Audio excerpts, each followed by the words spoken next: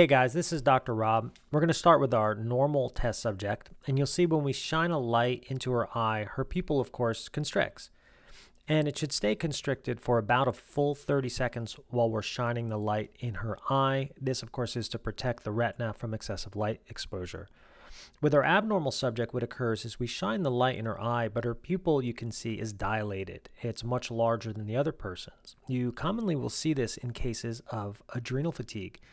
We even go ahead and we remove the light for a second and reshine it back in her eye. And her pupil constricts, but just for a second and then opens back up. You could see it opening up there. And it does something called vacillating, meaning it opens and then it tries to close a little. You could see it, right? It's like closing, opening, closing, opening, and it kind of goes back and forth like that. Let's take a second and compare the normal to the abnormal. And you'll clearly see here the difference in the pupil size um, immediately when the light hits them. You could see the person on the left, the abnormal subject, her pupil is much larger. The person on the right, the normal subject, her pupil is much smaller in response to the light. And this again has to do with the adrenal glands. All right, guys, so why does this happen? Well, it has to do with the hormone cortisol. Remember, cortisol is produced by the adrenal glands, and when the adrenals are stressed, there's an overproduction of it. And what does an overproduction of cortisol do? Well, it gets us ready for fight or flight. And what do our pupils want to do when we're fighting or running away? They want to open up as wide as they can to let as much light in as they can so we could have the best visual acuity, right? So we can see the best because we're either fighting or we're flighting. We're flighting, fleeing, running, we're moving. so, but the question is, the majority of people that I see as patients, they're not fighting anything, they're not fighting anything. They may have gone through some significant stress or they may be going through stress, but what I found is the majority of people, their cortisol is elevated because there's inflammation in the body. Remember, cortisol is not just your fight or flight hormone, but it's also your anti inflammatory hormone.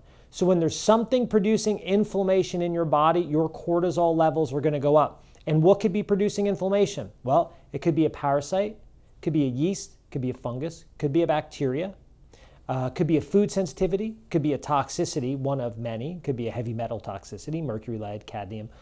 There's a variety of things it can be. The trick is to find out what's producing inflammation in your body because, in truth, it's different for everybody.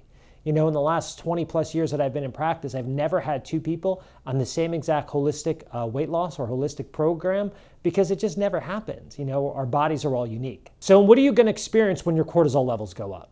Well, let's take a look. One, cortisol, remember, it's getting, it's getting you ready for a fight or it's getting you ready for to handle some type of stress, right? So, it wants you awake. So cortisol is going to wake you up. Often it's going to interfere with your sleep cycle. Here's the interesting thing. It might wake you up, but it's not going to give you energy because your sleep is not going to be in, as deep as it should be, or you'll wake up in the middle of the night around 2 or 3 a.m. and have trouble falling back to sleep.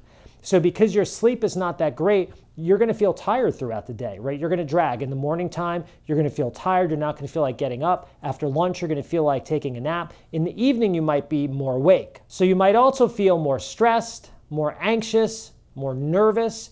You might feel kind of depressed or melancholy. Um, you're typically going to start to gain belly fat, so you'll gain weight around your midsection. In addition to that, cortisol can interfere with the production of thyroid hormone and the activation of thyroid hormone. In addition to that, cortisol can interfere with certain secondary sex hormones like testosterone, and as a result, will have a reduced sex drive. It can also be connected with food cravings like salty foods and sugary foods, but ultimately, when your cortisol levels are elevated, you're not going to feel too good. Things are not going to be so great. But you got to find the underlying cause as to why they're elevated in the first place. Now, if you feel that maybe you have adrenal fatigue or some type of adrenal problems, or you feel like you have some other unresolved health or weight problem, please feel free to reach out to me no matter what it is. I'm happy to help. I'm going to put a link down here to my free online weight loss and health evaluation, which is one of the many tools that we use in helping to detect the underlying cause to a person's health or weight issue. So, if you'd like to do that, please feel free to fill that out. The link will be down here. And uh, if you like this video, please subscribe and please share it with a friend. I think there's a lot of people that could benefit specifically from this video.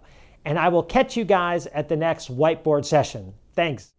Please understand that this video is purely educational. I'm not asking you to run around and shine a pen light in people's eyes and blind them and try to diagnose them with elevated cortisol. That's not what I'm doing.